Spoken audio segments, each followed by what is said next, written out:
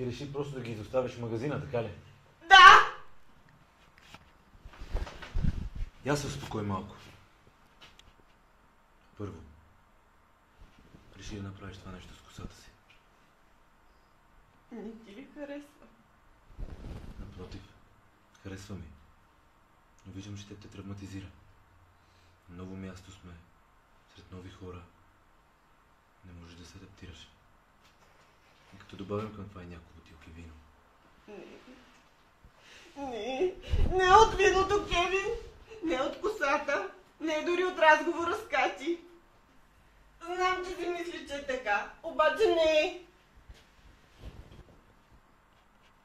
Какво за Кати? Да. Тя пак е бременна. Но това няма нищо общо, така ли? Ние вече не се виждаме, Кевин. А сега, с този голям случай ще стане още по-лошо. Разбираш ли, чакам майка ти да дойде с нетърпение. Добре, а с ремонта какво стана? Майната ти, Кевин! Защо винаги сменяш темата? Мразя този апартамент! Ти ще си купиш два-три костюма и си готов. Не е толкова лесно. como tu ameaçou